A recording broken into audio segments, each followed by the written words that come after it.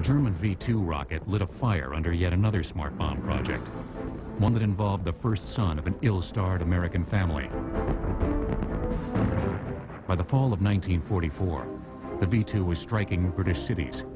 Secretly, an American project codenamed Aphrodite was underway to destroy the V-2 launch sites. Worn-out bombers, like the B-24 depicted in this period cartoon, were re-enlisted. Wired for radio remote control. Fitted with television cameras. The plane was then loaded up with explosives to make the equivalent of a 20,000-pound bomb. One of the Aphrodite volunteers was Joe Kennedy, Jr. Joseph P. Kennedy Jr. was a Navy pilot. He had just completed his tour of duty in, in Europe.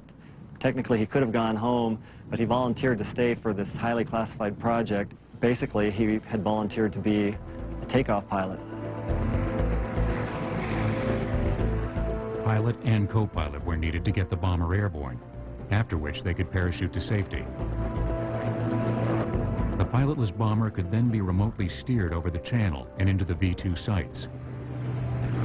On August 12, 1944, Kennedy took off on mission number three. Joe Jr.'s mission should have been a really short one. He and his co-pilot Wilford Willy really just needed to take this bomber off, get it in, into straight and level flight, and then bail out. While they were still over Britain, there was a premature detonation. As a secret report said, the plane was, quote, suddenly enveloped in a large circular ball of flame and white smoke and disintegrated in the air. The bodies of Kennedy and his co-pilot were never found. Aphrodite flew a few more missions, but never knocked out a V-2 base. Later, in 1944, the project was scrapped